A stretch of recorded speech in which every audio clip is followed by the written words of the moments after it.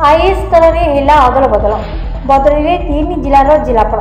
ଜିଲ୍ଲାପାଳ ସ୍ତରରେ ଛୋଟ ଅଦଳ ବଦଳ କରିଛନ୍ତି ରାଜ୍ୟ ସରକାର। ମୟୂରଭଞ୍ଜ ଜିଲ୍ଲାପାଳ ଆଶିଷ ଠାକରେ ହୋଇଛନ୍ତି ବାଲେଶ୍ୱର ଜିଲ୍ଲାପାଳ। ମୟୂରଭଞ୍ଜ ଜିଲ୍ଲାପାଳ ଓ ଜିଲ୍ଲା ମାଜିଷ୍ଟ୍ରେଟ ଆଶିଷ ଠାକରେଙ୍କୁ ବାଲେଶ୍ୱର ଜିଲ୍ଲାପାଳ ଓ ଜିଲ୍ଲା ମାଜିଷ୍ଟ୍ରେଟ ଭାବରେ ନିଯୁକ୍ତି ଦିଆଯାଇଛି।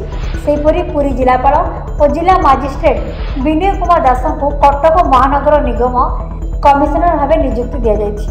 ब्यूरो रिपोर्ट आम टीवी